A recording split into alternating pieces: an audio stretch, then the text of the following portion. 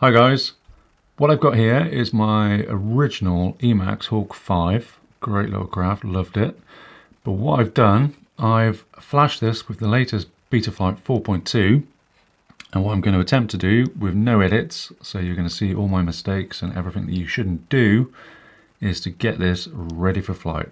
So this is a brand new firmware install of 4.2 and we're going to go through the whole setup process and give it a test flight.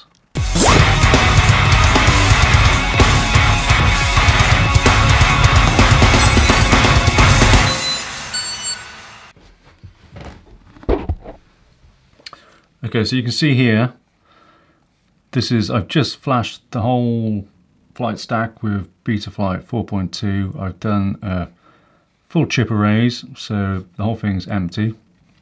And we're going to go through how we set this up. Uh, you can follow it or do something similar. So stop the update. Connect to Betaflight. This is the notice you get.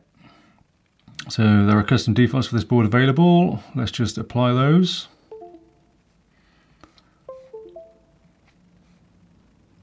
Reconnect. Warning, there's the following problems. Uh, there's a motor output protocol selected, or there's no motor protocol selected. Uh, caution, blah, blah, blah, batteries connected. Changing AC, accelerometer. Okay, we'll just close that and we'll work through these problems as we come across them. I'll close that. First things first, 4.2, it makes you calibrate this accelerometer. So calibrate the accelerometer. That is calibrated and finished and now should move. So yeah, there you go, it moves. So we've got that calibrated. Ports, the only port we've got set up is the communication port with the flight stack and Betaflight. Configuration, we need to go through this and configure it, and we also need to make sure that our motors are spinning the correct way. Uh, we need to put our receiver in. This has got a FR serial based. It is that one there. It is not a Spektrum. We go for S-Bus.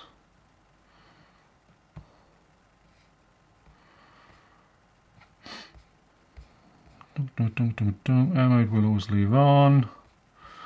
Let's save and reboot that.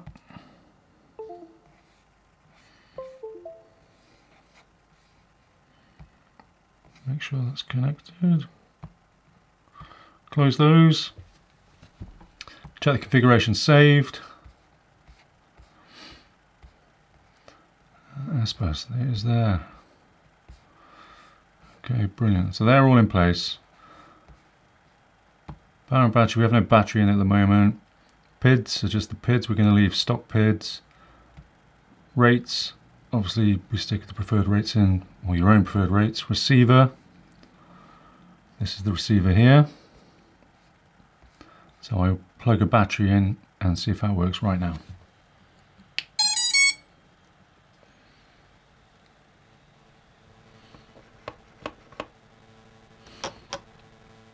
There, it's plugged in and nothing's working, so we need to set everything up. So I've taken the props off and we can be safe now. Always take props off if you're doing work like this because it could go off and you could be in a right mess. So no props is the best way. Now we're going to go in and see why this receiver isn't working and I think I know the reason straight away. It will be the ports. One of these is to do with the receiver. And I, I'm not completely sure which one it is on here to be honest with you. For that reason, we're going to say it's that one there and we're going to save and reboot. Connect, this message keeps on coming up. So back over, over to the receiver, I'll turn my radio on. Welcome to OpenTX. Switch warning. And there you go. So there you have it. So you have to make sure that you, your ports are set up correctly what I would have done if that one hadn't worked, I'd have just gone to the next one and the next one. So we know it's, it's, it's one of these. So there, that's working.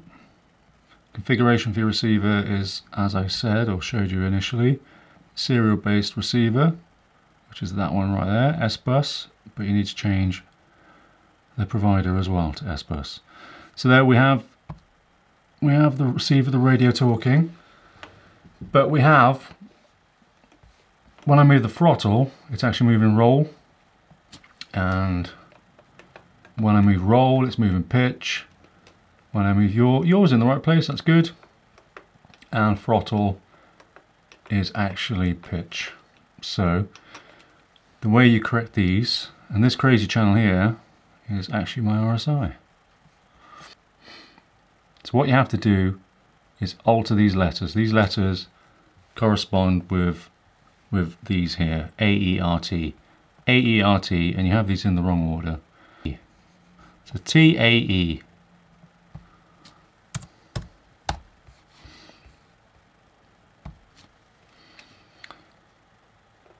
Roll, pitch, yaw, throttle.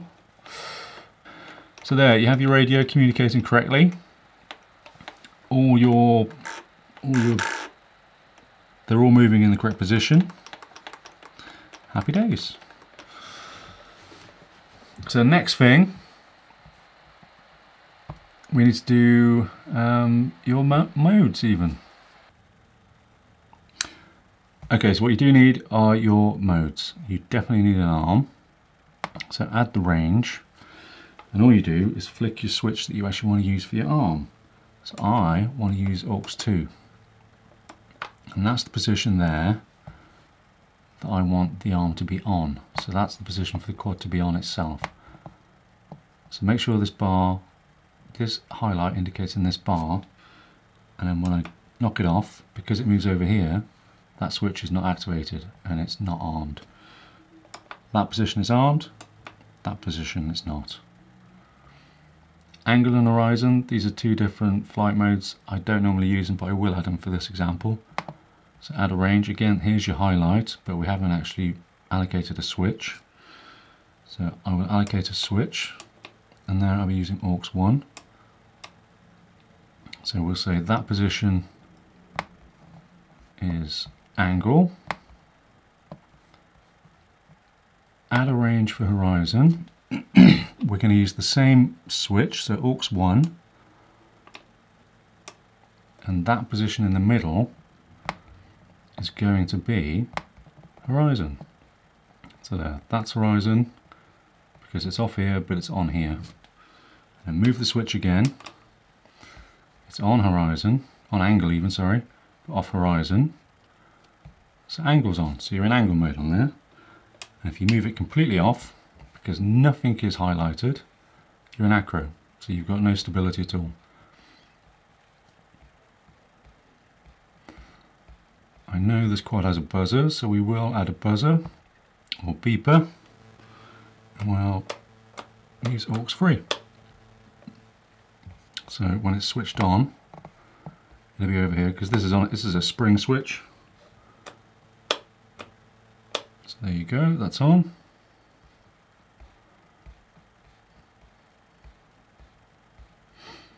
And that's all we're going to set up on this quad. You can go on and on and on. You can add loads of different things, but these are the main ones to get you flying. Remember to press save, and that will save. So to test that these actually work, we can go over to motors. What we will need to do is switch a battery in there, I'm afraid. Let's switch a battery in, flick a battery in even, fit a battery, and test the motors. There's the motors. I understand you have to press this because Betaflight is taking no responsibility. I'm warning you that it's not taking any responsibility.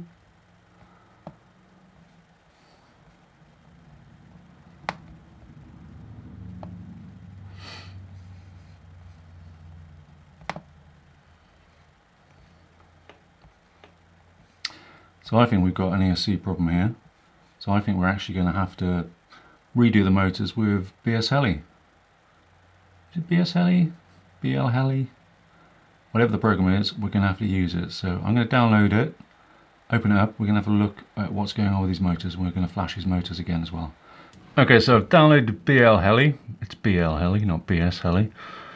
And um, what we're going to have to do is connect to the quad. We're going to need a battery plugged in, it doesn't actually read the ESC board. So plug your battery in, connect your cable, and then connect via BLHeli. It warns you about taking your props off, so my props are off. Read setup.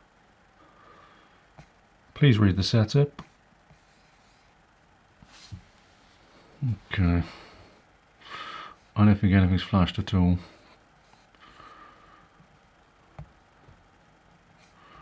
Hmm. Okay, let's disconnect that. Back to Betaflight.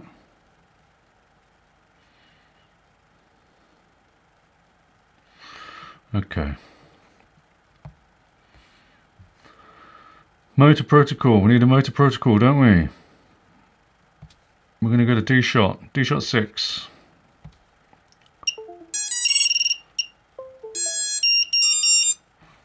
Save and reboot. It sounded like that is all we had to do. At least you've got to know what BLHeli looks like. Let's go back to the motors. Let's see if they actually fire up. Press your I understand tab. Me. So that's all it was. So I didn't need the hassle of BLHeli. I just hadn't set up the motor features. So ESC motor features. I selected D-Shot 600. You should really check what your motors are capable of, but I did know they were capable of 600. Uh, which is good. Arming, there's another arm thing here. You should change this to 180 because if you want to use turtle mode and you're upside down, if you don't change it to 180 it will not start up again. So save and reboot that. So my quad is beeping away so it's all sounding good. Let's connect again. I'm gonna see if my arm works. Turn my radio on. Welcome to OpenTX. Switch warning. I'll just press OK. Let's see where the modes are. Make sure we're in the correct positions. So that's arm, it's disabled. Let's unplug it and we'll see if it arms.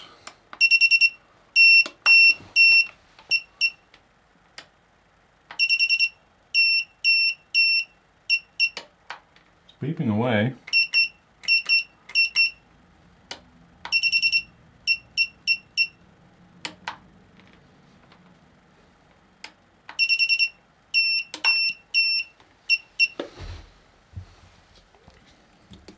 Unplug it.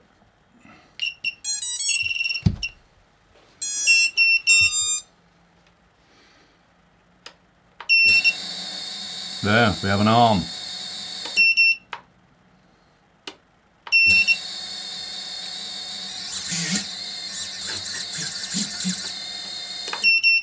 Okay, so so the setup works. We've got our receiver bound. We've got the motors working finally. The arm switch works. We're pretty much there. So let's unplug the battery. I need to keep that plugged in. Go back to Betaflight.